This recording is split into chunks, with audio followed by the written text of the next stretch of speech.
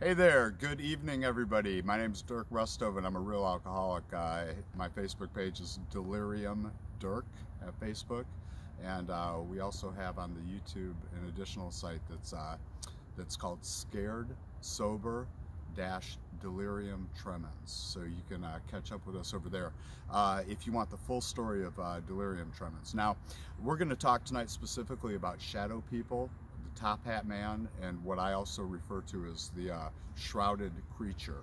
Um, these things are very, very real, very fucked up. Uh, and I'm going to just kind of lay the uh, the premise of what happened.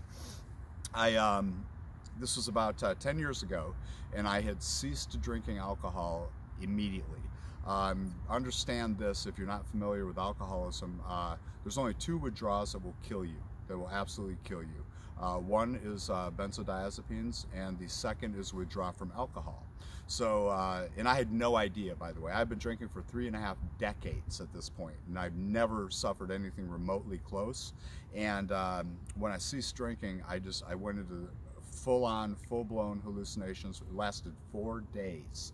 Um, and uh, again, in detail on uh, YouTube, Scared Sober Dash Delirium Tremens, and our website, uh, the www.scaredsober.org. I have the entire story written out. It's, I mean, it's over 30,000 words. It's pretty fucked up. So if you found this interesting or this site interesting uh, and you want to read more about it, I got news for you. You will not see anything like this on the internet. It is mind-boggling. And the reason you don't see anything is most people die. So I was just one of them that didn't. Uh, so I'm going to talk specifically about shadow people real quick. There's a poem also posted on, on our site here um, that I wrote about five years after this happened.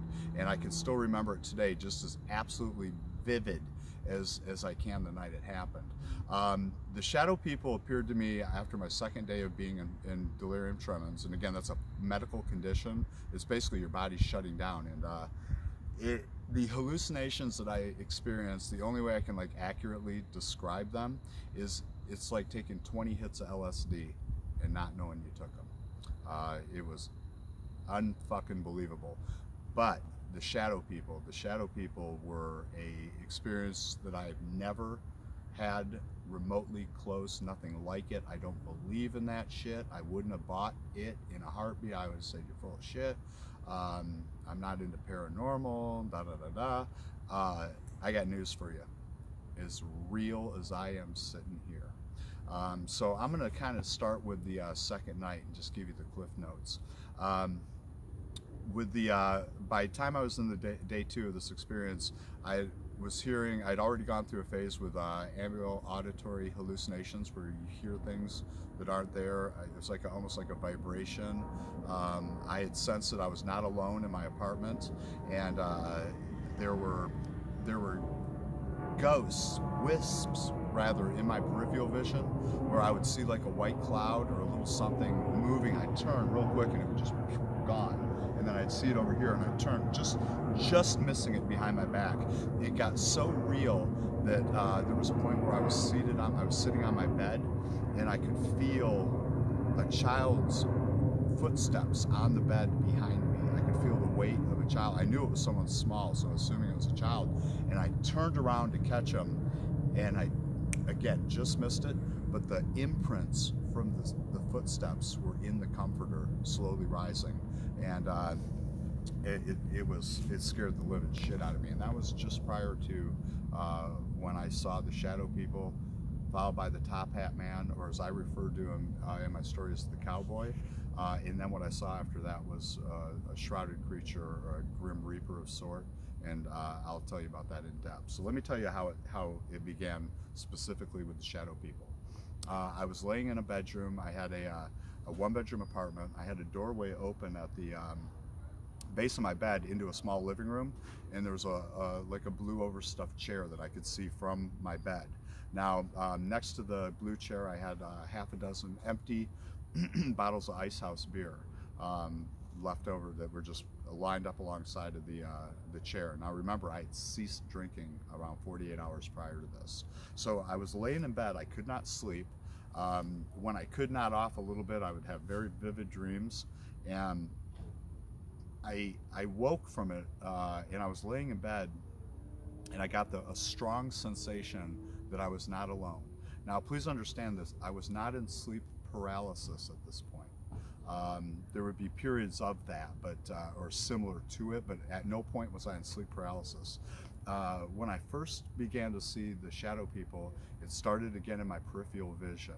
I um, uh, I saw a small cherub, like a like a winged cherub, uh, very small, maybe uh, two and a half feet tall, and uh, the cherub was sitting up in a uh, little enclave I had for, where a television would sit in the wall, and I had no TV there, and the cherub was was there, and I turned to look at it, and it would vanish. Then to my to my left, I had my doorway uh, exiting the room. I could see a silhouette in the doorway of, uh, and that was when I first saw the Top Hat Man. It was, a, as I referred to him, the cowboy. Uh, and he was in my doorway, and he was propped up. He had one foot up, and he was holding a book, and he had the the. It was more more of a fedora than a cowboy hat. He had a book in his hand, and he was staring down at the book. Um, he never said anything. Uh, then to his left, I could see a woman uh, in a long white uh, gown and blonde hair, and I just refer to her as the, the white robe lady, or the, rather the white dress lady. So I would look at the white dress lady and she would vanish. I could see the top hat man. I could see the cherub. I'd turn my head and they would dissipate.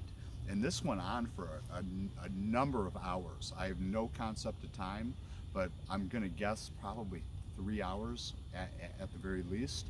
And um, as the uh, and I asked him, I even said out loud, I said, "Are you ghosts and are you evil?" I was, I mean, I was really scared, but I couldn't move. I didn't dare move. I didn't dare get up. Uh, now through the doorway, the the top hat man disappeared. He just dissipated as I looked at him, and there was a form behind him next to the chair. And uh, when I looked at this form, it did not disappear. Uh, what it was was a um, probably a four and a half foot tall, uh, I call him again the shrouded creature. It was a, a, a, a black faced uh, creature. He was wearing a long brown robe, almost like a monk's robe, and it went all the way down to his feet. His feet were covered, and his hands were, were out of the robe because I could see his hands. His skin was black, black, and uh, his fingernails were vibrant white. Um, now his face, and he was looking at me, looking directly at me. Uh, his face was black, and when I say black, it was the blackest black I've ever seen. I can't even describe it. It was like, I mean, the depth of it. It, it was darker than any ink, darker than anything, and it was just, I mean, it was, it was frighteningly dark. Uh, now, that being said, his eyes were glowing bright, glowing eyes, glowing orange eyes, and it smiled at me, and I could see his teeth, uh, and it was looking directly at me. It then took its hand, and it, it dangled its finger down, and it raked its finger across the top of the half a dozen um, beer bottles, glass beer bottles that I had lined up, and they actually clinked together. And uh, I, I couldn't move. I couldn't I, I, felt my chest was heavy. I, I mean, I was wide awake. That's the thing. I mean, I, I could hear myself speak. It was not a dream. Um, at any point was I asleep at this. It was just, uh, it was, I mean, the hair on my arm is standing up as I'm telling you this. This is fucked up. Um, and he just stayed there and he raked his finger across the uh, beer bottles uh, three times. And he just stood there smiling and glowing. And I knew, I did not know why he was there, but I knew without a doubt that wherever he came from was very bad. And if he wanted to take me somewhere, it was no place I wanted to go. And I knew that was the reason it was there. It scared the, scared me to death. Um, I, I turn away and, and, and, you know, gripping my covers, I'd look back, It's still there. Um, turn away the other, you know, grip my covers, look back, still there. He wouldn't dissipate. He wouldn't go away. He never came closer. He never moved. He never, you know, other than raking his hand. And he just kept looking through me. I mean, it was burning through me. And uh, and I never, I never, I didn't know what shadow people were. I didn't know what the Top Hat Man was. I'd never even heard of such things. I didn't even hear of that concept until almost eight years later and when I'd, I'd heard about that and then I started doing a little research poking around online to see what was out there and it's like holy shit you know not only has this thing appeared to people for for decades uh, in different forms but I mean going on hundreds of years. Um, this is not new. I'm not alone. I'm not the only one that's seen this and I'm, and I'm not the only one that will see it again. What was his purpose? I don't know. To this day I think it was I mean I was on the edge of death. That I do know. That's a fact and I just pray, I pray to God I never see it again. Uh, I hope no one else experiences this, but I have a, I have a feeling that I'm not going to be alone. So if you guys do have experience with this, I'd welcome your comments. Um, if you if you think I'm batshit crazy, you know, you can throw those comments down there. I really don't give a shit um, because I'm simply relaying what happened to me, and uh, it was mind-boggling. Um, so again, if you want to read the whole thing, if you want to, and I have videos of all four days of the um, of the delirium trance. There's shit that gets even crazier than that, big time. Uh, and again, it is a true story. It's a very real story, and it's a very real part of my life, and uh, very real reason why I was able to uh, break the, the holds of those addictions too. Thank God. Um, so anyway, I appreciate the time. I hope you guys check it out, and uh, I look forward to your comments and share it with your friends if you find it of interest. Okay? Thanks a lot. Look forward to it.